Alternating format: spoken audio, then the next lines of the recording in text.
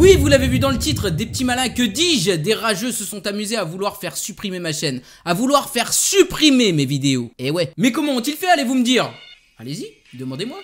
L'espace commentaire est fait pour ça. La réponse est simple, tout simplement en signalant des vidéos en masse sur ma chaîne. Mais pourquoi je vous annonce ça avec le sourire, allez-vous me dire? Allez-y, Demandez-moi dans les commentaires. Eh bien, c'est tout simplement parce que j'ai attendu avant de faire cette vidéo et à l'heure où je vous parle, ma chaîne est sauvée. Pourquoi j'ai attendu avant de faire cette vidéo? C'est tout simplement parce que les rapaces du net, comme je les appelle, auraient été très fiers de leur coup, de voir qu'ils ont réussi à supprimer mes vidéos. Je vous explique, il y a des gens qui ont signalé des vidéos en masse sur ma chaîne et notamment des vidéos qui datent d'il y a plus d'un an. D'ailleurs, une de ces vidéos a tout de suite été supprimée par YouTube dans la foulée. Et donc, elle a été signalée pour caractère sexuel et contenu pornographique. Du contenu à caractère sexuel et pornographique sur ma chaîne? Mais what? Bien entendu, dès que j'ai appris ça, je me suis empressé à envoyer un mail au support de YouTube. Franchement, ça m'a foutu un peu les boules parce que j'ai jamais pris un strike sur une seule de mes vidéos. J'ai déjà eu des notifications de droits d'auteur, mais ça, c'est pas très grave. Mais là, c'est carrément un strike. Un strike, c'est quoi? C'est un avertissement. Au bout de trois avertissements, votre chaîne, elle est clôturée. C'est-à-dire que votre chaîne, elle a beau avoir 10 ans, tout le travail que vous avez fait durant toutes ces années anéanti en un clic en deux secondes. Surtout, restez si vous faites des vidéos comme moi, je vais vous donner quelques conseils bien pratiques, aussi modestes soient-ils, si vous prenez un strike tout comme moi. Règle numéro 1, il vous faut un network. Un network ne sert pas simplement à pomper votre argent, il sert aussi et surtout à régler ces petits soucis quand vous en avez. Si vous n'avez pas de network, pas de panique, vous pouvez très bien contacter le support de YouTube. Règle numéro 2, quand vous prenez un strike, il ne faut surtout pas contester la décision par vous-même. Pourquoi il ne faut pas contester? Alors c'est tout simplement car si vous n'êtes pas d'accord avec cette décision,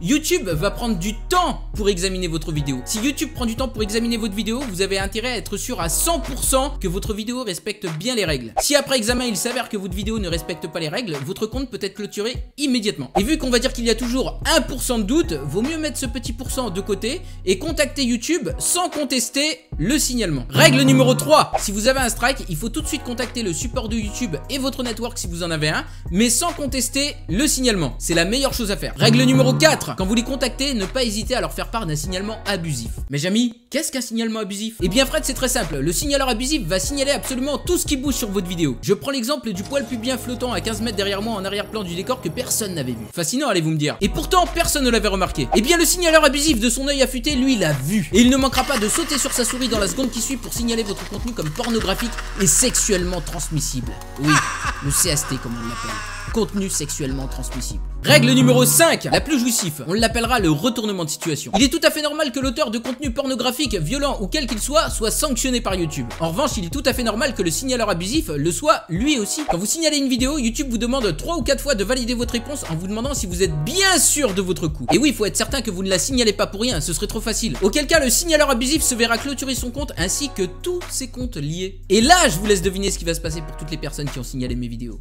Vous voyez où je veux en venir Alors histoire de remettre en place tous les rageux qui ont signalé mes vidéos, le strike que j'ai pris n'a pas duré plus de 48 heures. Et en fait l'avertissement ne me permettait plus de faire des lives sur YouTube, l'option m'avait été carrément enlevée. Mais de toute façon j'avais pas prévu de faire de live ces deux derniers jours. Au final ça m'a pas dérangé. À l'heure où je fais cette vidéo, YouTube m'autorise bien sûr à réupload ma vidéo, et c'est bien entendu ce que je vais faire. Et préparez-vous bien parce que la vidéo réupload qui va sortir ce soir si j'ai le temps, ou bien demain, vous êtes pas prêts. Je sens déjà que cette vidéo va faire très plaisir aux rageux. Quant aux personnes qui me suivent comme d'habitude, qui like, qui partagent, qui commentent les vidéos, vous, vous êtes au top, vous, vous êtes les vrais, franchement, ça fait plaisir. Donc j'espère que ce soir ou demain, vous serez présents pour mettre un gros pouce bleu sur la vidéo qui va être upload pour contrebalancer le strike dans la gueule au rageux. Avec la vidéo qui va sortir, je vous le dis direct, c'est nous qui allons leur mettre un strike. Vous inquiétez même pas. Bref, j'ai pas compris pourquoi mes vidéos ont été signalées, je fais jamais de drama, que ce soit sur Twitter, sur Facebook, sur YouTube, je parle jamais de qui que ce soit sur ma chaîne. Je me suis toujours occupé que de ma chaîne et de mes abonnés, donc je comprends pas pourquoi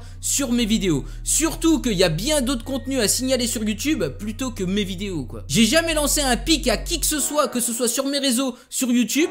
Je m'occupe tout le temps de ma chaîne et de mes abonnés. Si l'autre il a envie de faire du putaclic et que ça marche pour lui, et eh bah tant mieux mon vieux, GG, je suis content pour toi. Je vais pas là en faire un drama sur mes réseaux ou dans mes vidéos YouTube pour dire oui je comprends pas, lui il met ces titres là, euh, moi je mets ces titres là. Euh. C'est quoi ce délire? Pour moi sur YouTube, tout le monde il a le droit de faire ce qu'il veut. Et laissez-les faire ce qu'ils veulent mon vieux.